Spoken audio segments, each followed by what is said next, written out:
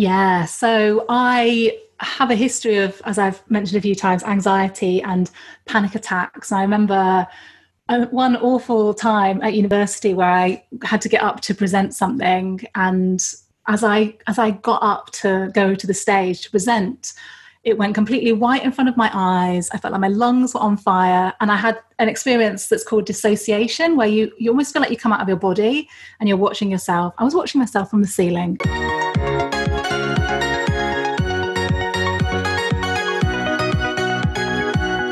My name's Chloe Brotheridge. I'm a hypnotherapist and a coach. And I've written two books one called The Anxiety Solution and Brave New Girl, Imposter Syndrome. I help them to quiet the inner critic and move forward with things with more confidence. Chloe, thank you so much for joining me on the Experts podcast. Thank you. Thanks for having me. Can we go back to the sort of early days of how you discovered hypnotherapy, how you discovered the work that you do, and and also you know if you were to to kind of rewind what was it like when you first started thinking about kind of building up a, an expert brand or a personal brand in in this space? Yeah so i i discovered hypnotherapy through recordings through trying to help my myself with my confidence and with anxiety that I was experiencing. And um, listened every day to these recordings for a couple of weeks and found that it actually made a difference. And I was pretty surprised actually that it that it did help and done sort of meditation and things before then. So it was kind of that kind of world was in my world. And so I trained as a hypnotherapist. Having met a few hypnotherapists in my life I think my mom's friend was a hypnotherapist. I met met um, a doctor who was also a hypnotherapist and I was traveling and a few other people and it just sort of seeded this um, idea in my mind. And I was working in the NHS as a nutritionist and yeah so in the beginning I remember training this was nine years ago now and just having no clue about how I was going to get clients. Just, I remember asking myself, and almost everyone that I would meet, or if I ever met another, I don't know, I met kind of nutritionists at networking events or coaches, and sort of like, how do you find clients? It seems like this impossible mountain to climb. I just can't imagine how that's going to happen. And of course, you know, slowly and gradually it did it did happen. And were you in a position at that time where you had perhaps a stable job or career trajectory that you were going on and there was a decision to kind of go in a different direction? Yeah, so I was. So I was working at the NHS. I was living in Essex, and my boyfriend was in London. It was a really nice job working for the NHS. I was teaching kids to cook healthy meals and families, and it was a lovely job. But yeah, I knew I wanted to help people in a bigger way, and I wanted to um, be able to kind of spread a message without having kind of constraints on it. So I think the NHS was. I knew that I knew I couldn't really continue down that path, and I'd also um, been having a lot of therapy myself and had found that I'd gone from someone that was extremely unself aware, extremely um, unable to talk about things, to someone that actually had discovered this amazing kind of self insight and ability to share and kind of working through my own shame about things and really wanted to share that with other people and help other people with the things that I'd learned about my own kind of experience with anxiety. What were the most important things for you when you were getting started? Was it, you know, the first step, getting qualified? Were there any other elements of that kind of getting set up for success that you you remember being important to you in the beginning? Yeah i mean i know that a big aspect of it in the beginning was was confidence and having the confidence to see clients and put myself out there and believe that it was as kind of possible to to you know make a go of this new career. And i was practicing on everyone that i could find i would see friends of friends for free. I did kind of exchange sessions with other therapists so we could refer people to each other and and also just kind of getting more practice in. Um, so yeah i just practice on a lot of people. This was in the days before instagram so there was no instagram then. I was using twitter a lot to connect with people and spending a lot of time engaging with people on twitter um, you know sending a lot of tweets kind of building that up and that was something that helped me to i think at one point most of my clients were coming from twitter because um, I just put all my energy into that and decided that that was going to be the way that I was going to connect with people. Chloe, what's one thing that you wish you'd known when you first started this journey of building your business? I wish I'd known that it's okay to start before you're ready. I remember even when I was coaching with you three years ago, you suggesting things for me to do I'm probably only doing now or in the last year. Because at the time I was just like, I'm not quite ready for that. But I kind of wish at the time I'd been a bit more like, you know what, I don't feel ready to do this, but I'm going to give it a go. Great advice. What's one thing that you wish you'd done sooner in your business? I think doing more group work. I think there's something really dynamic about doing things in groups. Um, that that just adds a, a, kind of exciting flavor and that aspect of community. And i wish i'd kind of got started on that sooner because it's really rewarding. Was there any reason why you didn't? Was there a feeling of you know maybe not being able to deliver value in that setting or another reason that you hesitated on working in groups? I think just wondering how i would get the group together and um and do that. And at the time i didn't really I didn't necessarily follow a lot of coaches. I didn't necessarily have a lot of friends who were doing similar things. And I think I just didn't, it wasn't necessarily in my sphere of kind of what was possible.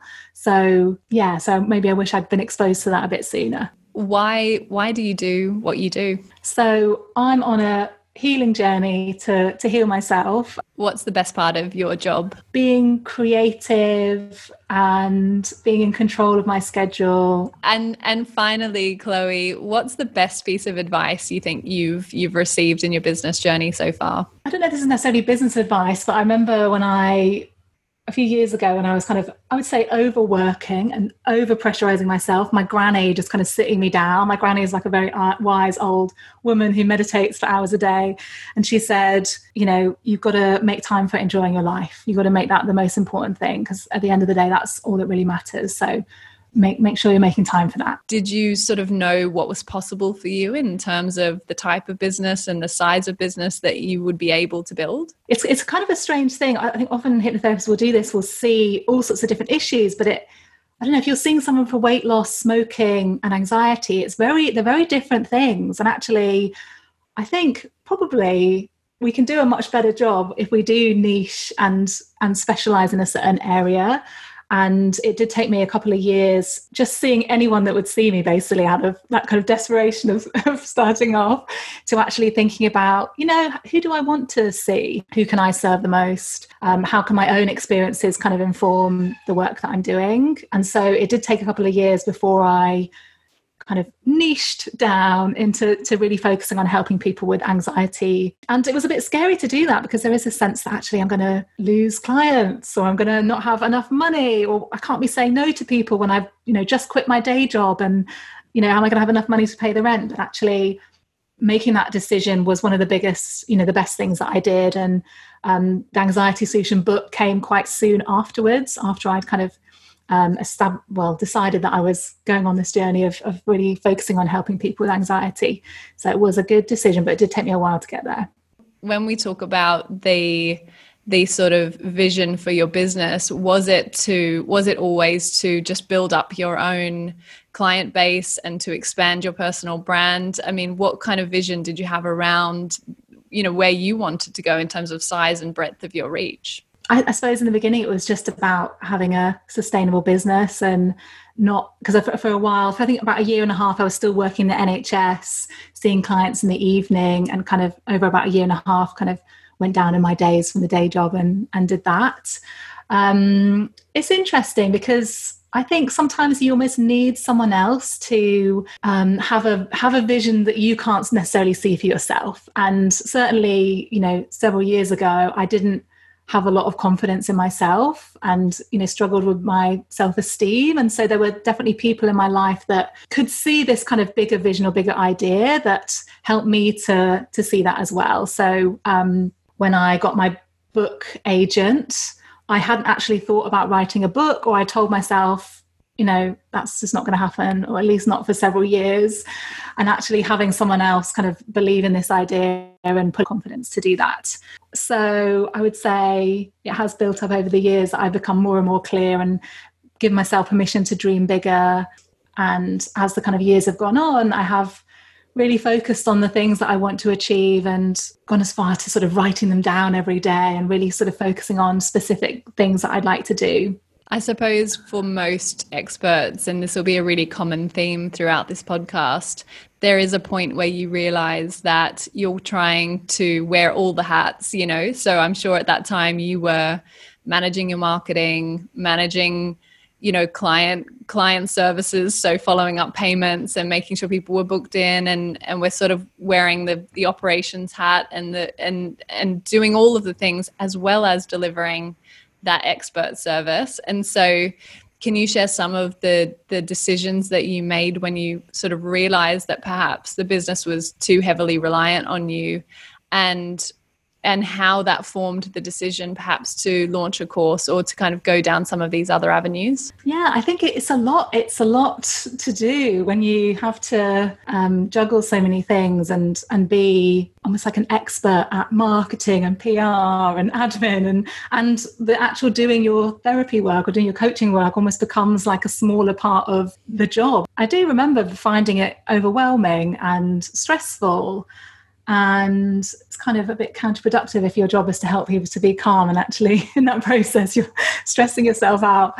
Um, so i think a big thing for me was um, hiring some help it's just an assistant to begin with. I was able to to sort of take that step and actually realize i don't need to do everything. I don't need to answer every email myself. You know that can be done by someone else. And so these days, I tend to have people helping me with projects or someone doing graphic design or someone doing some editing for me, someone doing some tech stuff for me. Instead of having sort of a team that's with me all the time, I have one assistant and then I tend to outsource the different um, specific kind of tasks that don't need to necessarily be done by me there's a there's a big piece of building your personal brand that you were were quite conscious about which was you know getting up in front of people and speaking. And and and most people sort of see a confident speaker and think that's a natural ability that they have always had. And I know you've really worked on yourself and and grown into that role of having a personal presence and speaking and putting yourself forward for those opportunities. I'd love for you to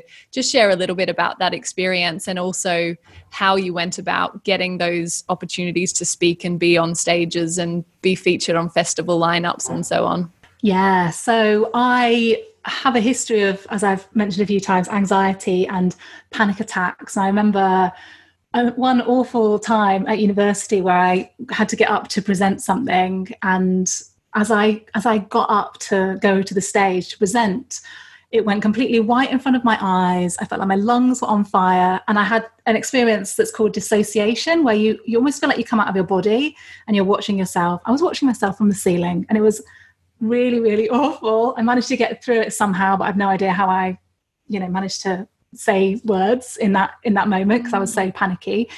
And yeah, I really struggled with um, you know even social anxiety even people you know meeting people one on one was a challenge for me in the beginning of my business and so the thought of having to get on stage and speak to people or go to a networking event or something like that, that was massively, that was a massive big deal for me in the beginning. And um, yeah, I remember the first workshop I did where I um, put posters all around Hackney telling people about this workshop and you know invited everyone I could and and I think one person came to that workshop the first one I did and I was extremely nervous about it for weeks in advance and then to have one person kind of show up was um yeah it was fine because she actually had a good experience but it you know it was a lot of um a lot of getting nervous over over something that really wasn't a big deal you know having experienced it. That is such good advice and such a, an amazing piece of wisdom to to finish our conversation on. And i often have to remind myself as well as my clients that that this is meant to be a fun journey. We're meant to be enjoying what we do. And if we're just working harder harder harder and buying into that hustle all the time we often lose sight of why we built a business in the first place. And um, the work that you do is so incredibly inspiring to so many people, Chloe, and it's certainly inspired me so so much um, over the years. So thanks for taking the time to to share your business journey and your learnings on the podcast. Thank you. Thanks so much for having me. It's great to chat to you.